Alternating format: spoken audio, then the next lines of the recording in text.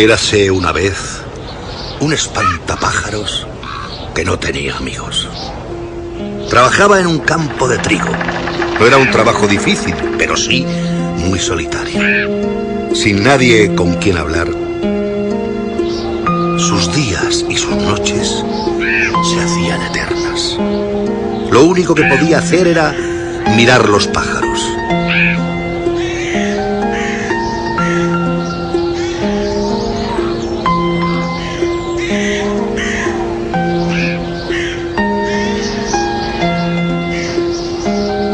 Cada vez que pasaban, él los saludaba.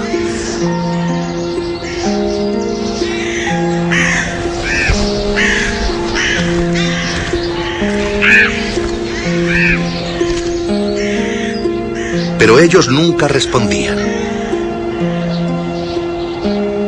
Era como si le tuviesen miedo.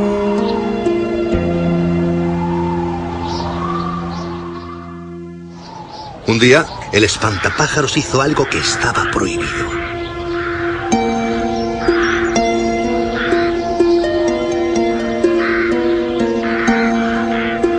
Les ofreció unas semillas.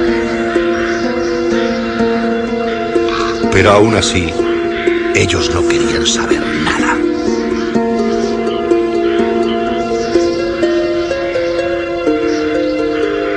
El espantapájaro se preguntaba por qué nadie quería ser su amigo.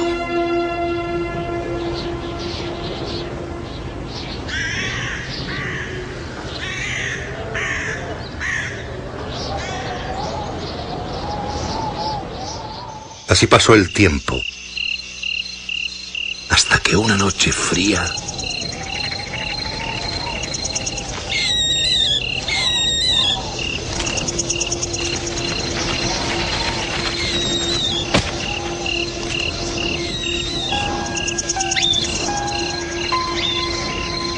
cayó a sus pies un cuervo ciego. El cuervo estaba tiritando y hambriento. El espantapájaros decidió cuidar de él.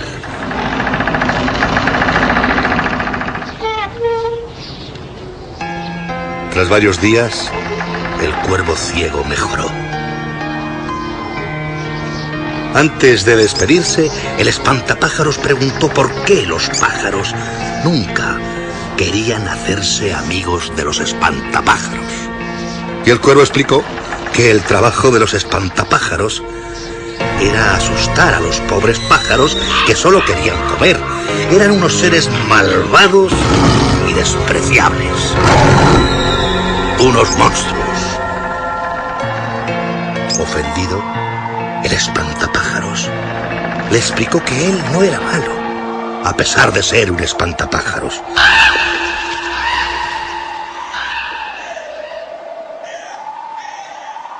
Una vez más, el espantapájaros se quedó sin amigos.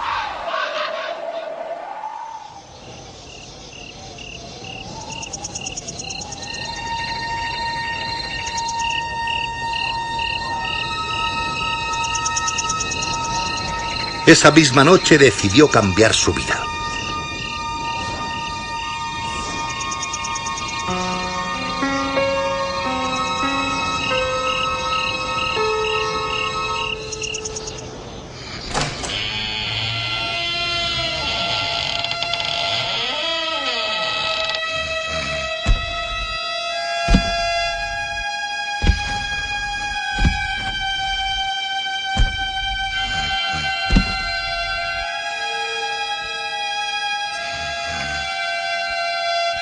Despertó a su amo y le dijo que quería otro oficio, que ya no quería asustar más a los pájaros.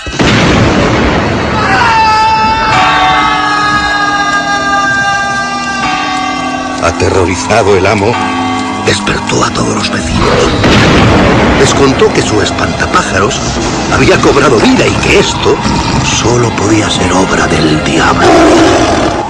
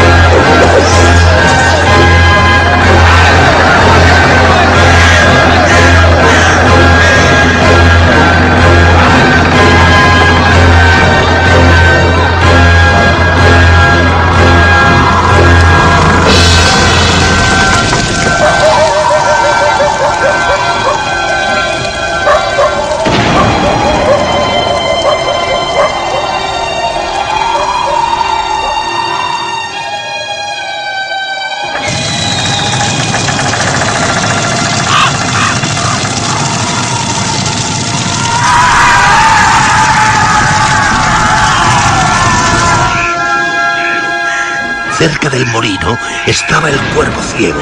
Sus compañeros le explicaron que los vecinos de la aldea estaban quemando un molino donde se intentaba esconder un espantapájaros con una bufanda muy larga. El cuervo ciego entonces les explicó que ese era el espantapájaros bueno, el que le había salvado la vida. Conmocionados por la historia, los cuervos quisieron salvar al espantapájaros. Pero era demasiado tarde no podían hacer nada.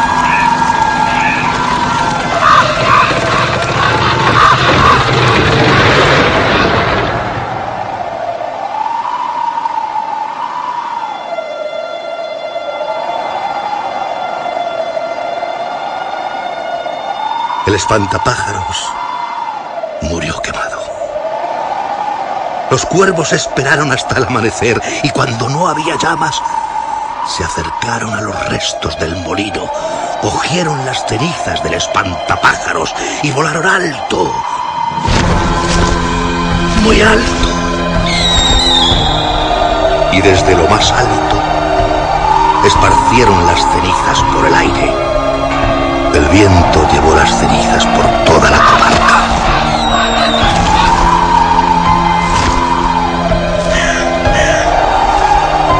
Cenizas volaron junto con todos los pájaros y de esta manera el espantapájaros nunca volvió a estar solo, porque sus cenizas ahora volaban con sus nuevos amigos.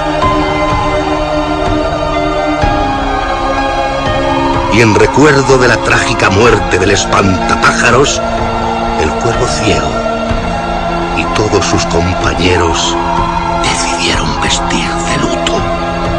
Y por eso desde entonces, en memoria del espantapájaros, todos los cuervos son negros.